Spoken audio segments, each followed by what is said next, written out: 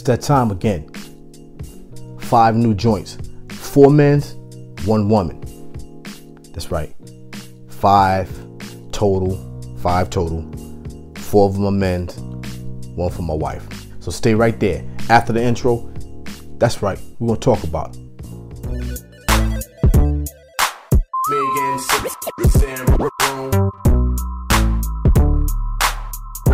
Boom, boom, back to doing another video.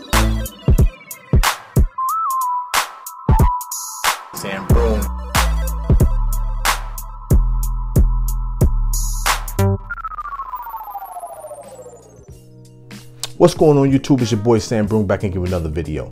Listen up. I know it's been about two weeks. All right. But I had some things going on. But I'm here. You know I ain't going nowhere. All right. But we're to talk about these five new joints. One of them is for my wife. The rest of them are all men's. Okay. Before we talk about them though, you guys need to do me that favor. Like, comment, and subscribe. Share the video. Okay. Y'all got to do me that favor. Share the video. Share with your moms, your dad, your co-workers, friends, family, whoever. Share the video, okay? And most importantly, let those ads run. Now let's talk about these fragrances. First one from the house of Trussardi. Y'all know I like this this house, man. It ain't my favorite, but it's highly rated and highly up there. It's from the house of Trussardi. This is Scent of Gold. Scent of Gold, 2018 release. Okay, supposed to be similar, but not exact um, to uh, Tom Ford Black Orchid. Okay. Oh yeah, that's a nice bottle, man. If you've seen one Trussardi bottle, especially in the Uomo line, you've seen them all. Very classy bottles, man. Nice metal cap to it, nice weight to it. Got that nice color scheme too, like the Tampa Bay colors right there. Speaking of the Tampa Bay Buccaneers, I'm not a fan, but I do respect all teams. I'm a Cowboy fan. So the draft is tonight. I'm hoping to uh might be going live talking about these draft picks, man. Switch it up a little bit. Talk about some sports. Okay. Trussardi, Scent of Gold, might be on another channel though. Scent of Gold. You got cinnamon, bergamot, pruneau, tobacco, violet, jasmine, labdanum, patchouli, and vanilla. All right, here's an atomizer. Nice distribution of juice there. Okay, let's go. Two sprays. It's like five sprays right there. It's a nice, nice bubble already. Okay, I'm digging this. I'm digging it. But if I have to be honest, man, the violet is prominent. It almost has like a plum note to it. It almost smells like it has like a plum.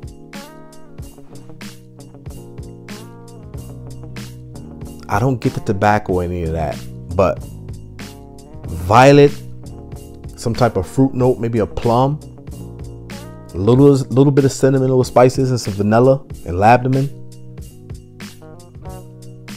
But this, I'm, I'm again, if I have to be honest, smelling this fragrance, other than the violet and the sweet, the sweet tones or the sweet notes that's involved in this, it's almost like it's a blend of a bunch of fragrance of a, a bunch of notes. It doesn't have like no distinct um, characteristics about this fragrance. I mean, the, the, the, characteristics about this fragrance when it comes to like the individual notes, you can't really pull out. It's almost, it's almost messy to be honest, almost messy,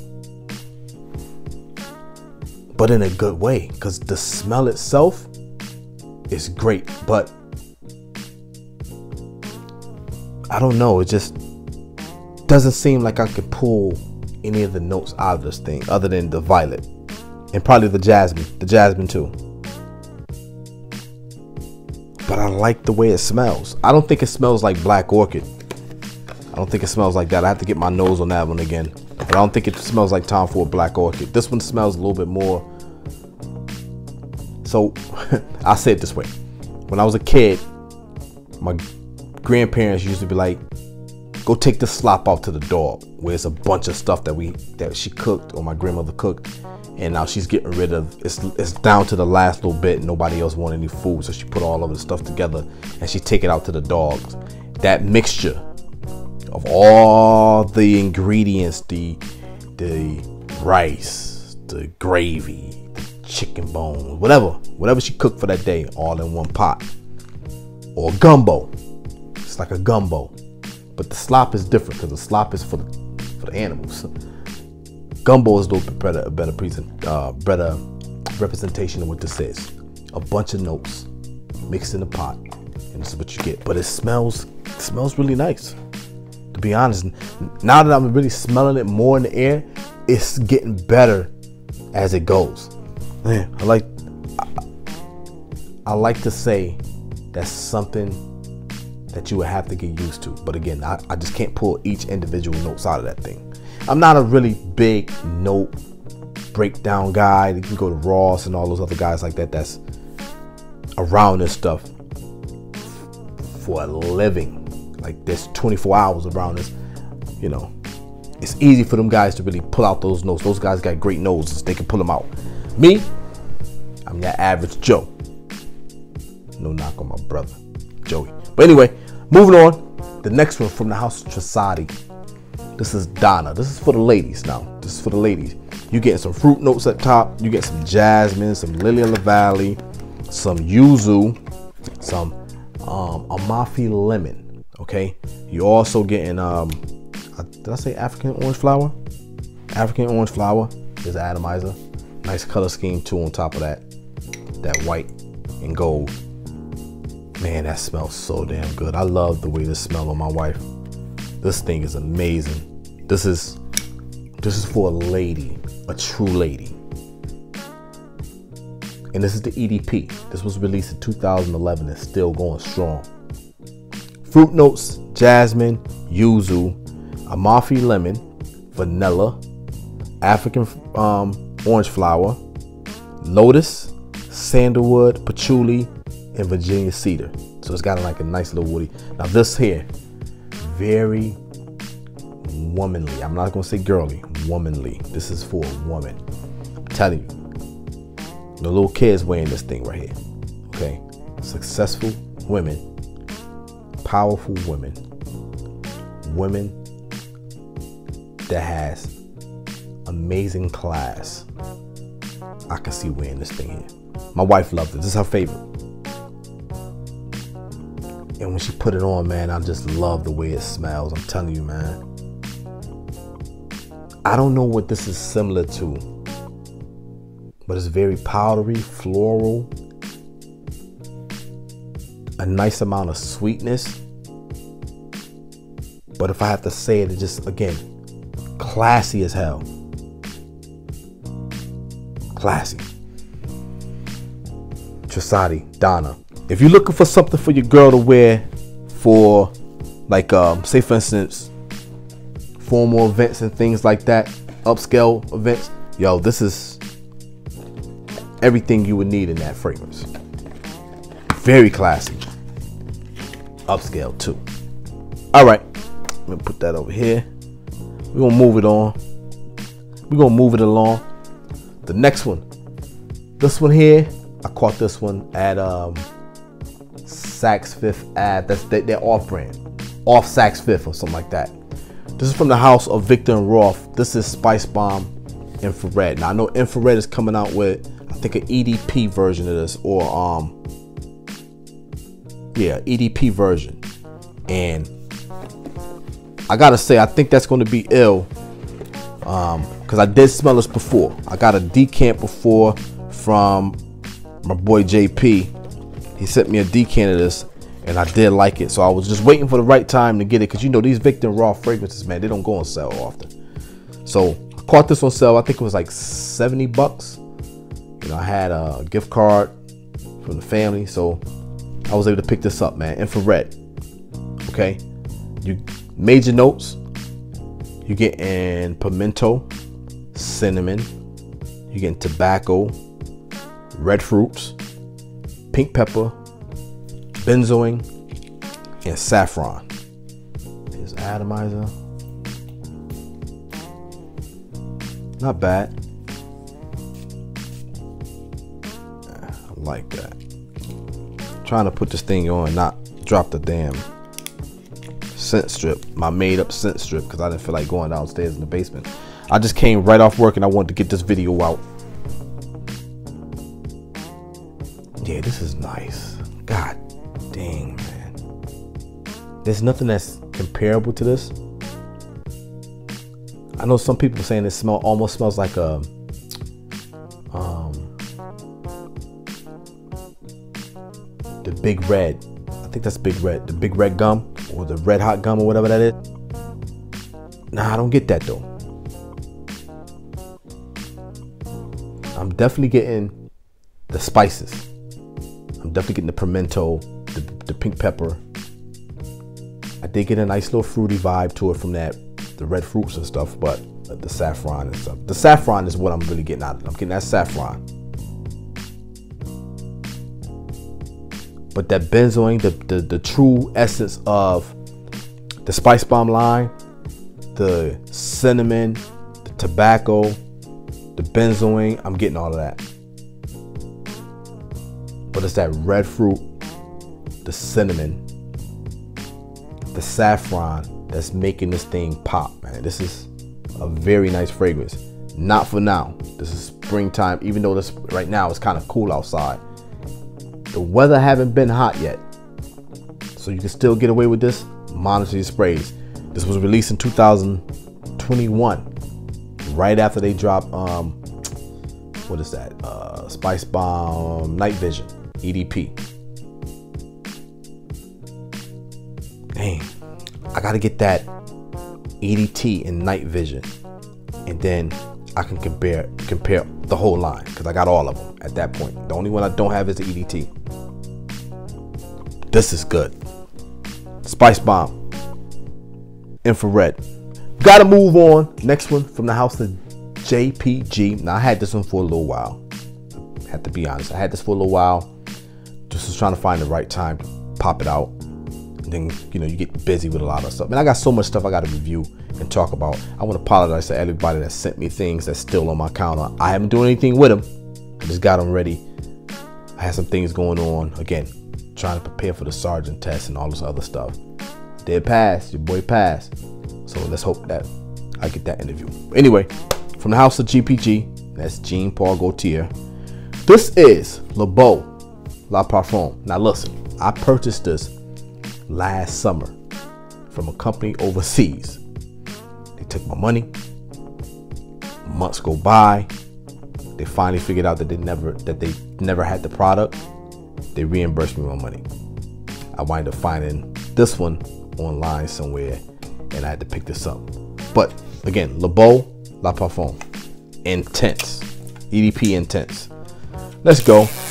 Now I did do a first impression on the EDT some months back. Sorry about the wrapper. And of course, y'all know these these these tin cans. You got to open it from the bottom. Okay, here we go. Love that. Love that style. Now this style here remind me of um, Essence, and I love that. I'm gonna keep this on the base. Let's go. Pull this off. All right.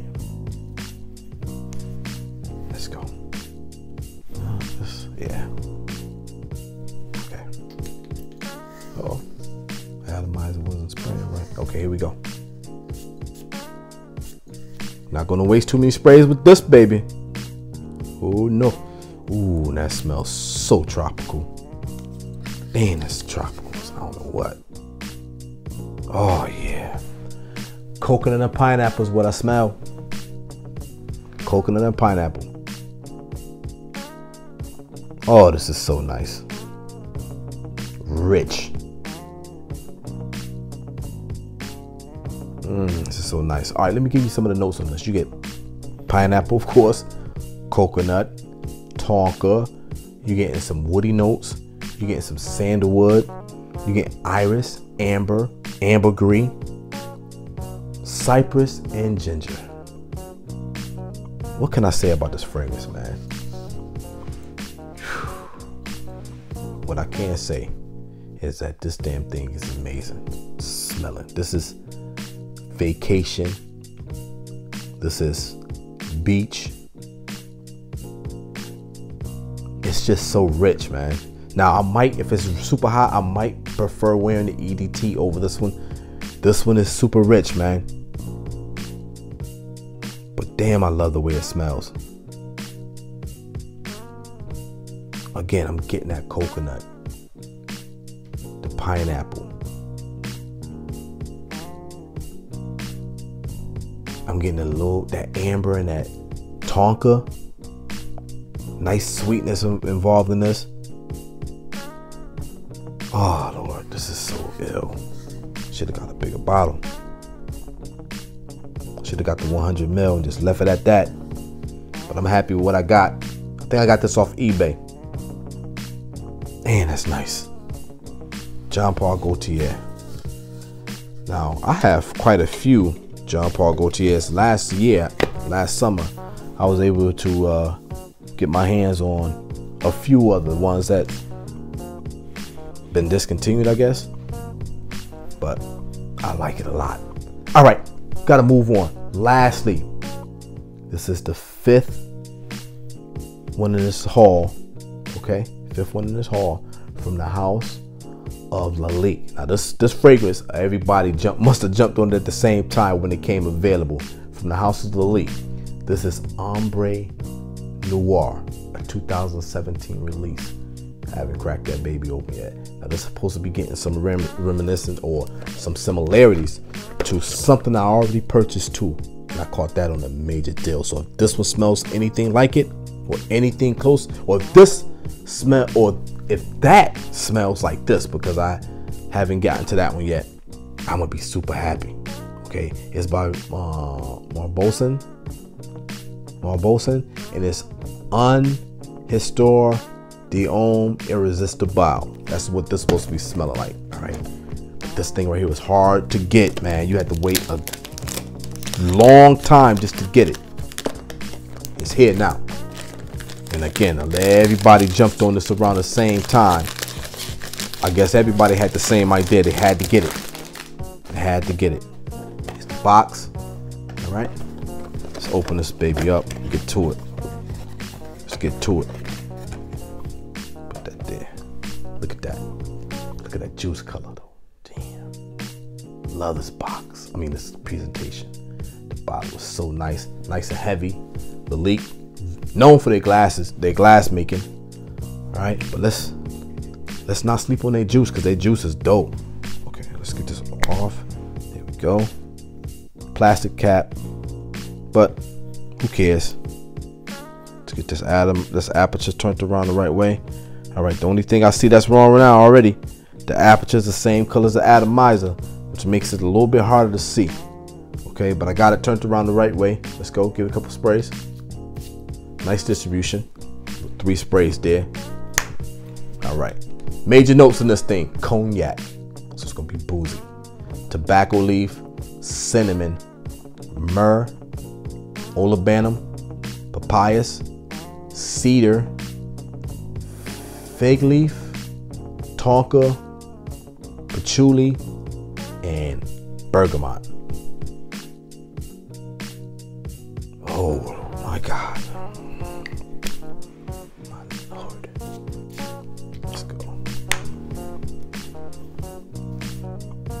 Ooh, that bergamot or citrus top is strong. But right away, I'm getting that. I'm getting a, a very nice boozy from the from the cognac, that booze from the cognac, and that papayas. That's a really nice blend. The, the cognac and papayas making a very nice blend to this thing. Now the tobacco is starting to rear head. It's got nice spices to it as well. Damn. So this is a very nice boozy, spicy tobacco with some sweetness coming from that tonka bean and, the Ola If I had to say it myself, this thing is different. It's different. No, the average person's not gonna have a fragrance that smells like this in their in their um, collection. So they're not gonna smell like you.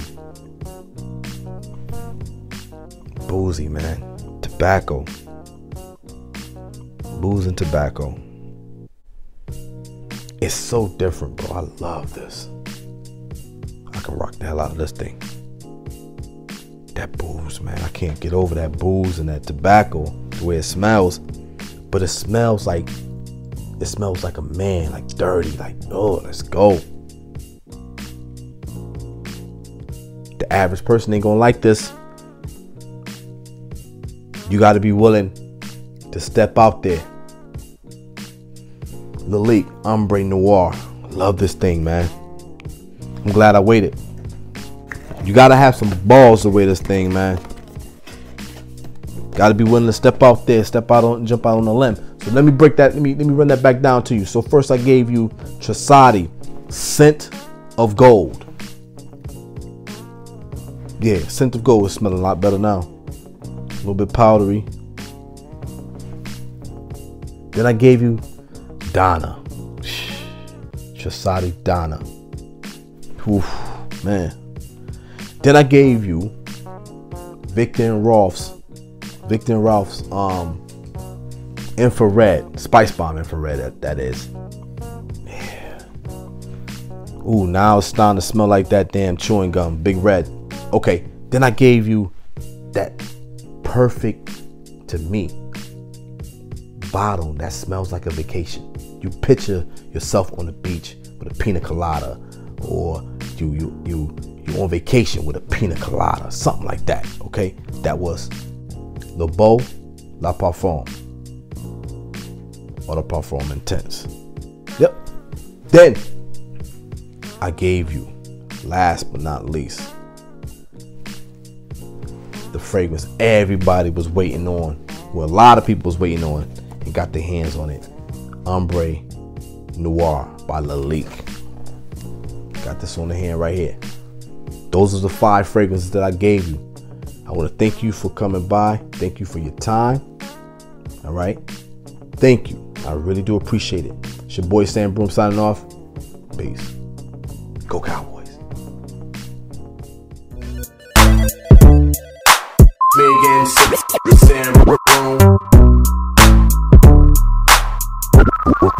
Back to doing another video.